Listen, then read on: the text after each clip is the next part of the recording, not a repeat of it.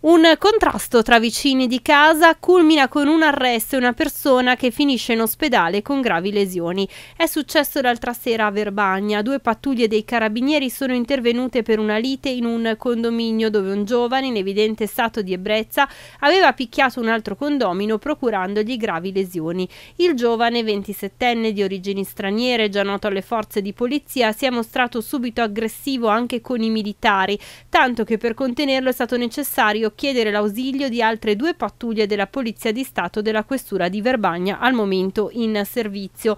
Condotto in caserma con non poca fatica, i carabinieri lo hanno dichiarato in arresto per resistenza pubblico ufficiale, lesioni personali aggravate e danneggiamento aggravato, poiché durante il tragitto ha danneggiato l'auto di servizio dei carabinieri.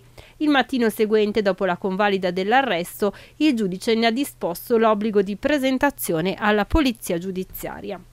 La stessa notte a Baveno i militari del radiomobile di Verbagna, mentre stavano effettuando dei controlli alla circolazione stradale, hanno intimato l'Alta uno scooter il cui conducente, invece di fermarsi, si è dato alla fuga.